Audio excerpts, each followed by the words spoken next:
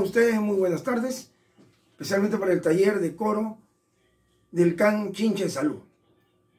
Bien, ya ustedes habrán escuchado esta introducción, que es un hermoso tema conocido por ustedes como es Moliendo Café. Quien fue el autor y compositor de esta música fue Hugo Blanco, artista venezolano. Bueno, en esta oportunidad ustedes van a apreciar lo que es un coro de cámara, cantando este tema. Ustedes saben que el coro de cámara, de cámara es un coro propio de una agrupación musical.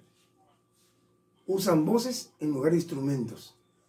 En este coro está formado por 5 hasta 25 cantantes. Por ejemplo, un coro de voces mixtas, a cuatro voces. Se usan los sopranos, contraltos, que son las voces de mujeres, y los tenores y bajos son las voces de varones.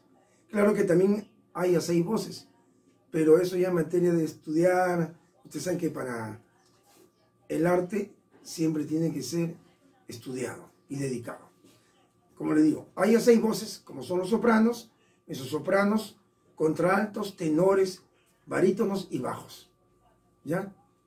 Entonces, ahora vamos a apreciar este hermoso tema en coro de cámara que va a cantar, van a interpretar eh, Moliendo Café. Lo dejo para que ustedes aprecien. Thank you.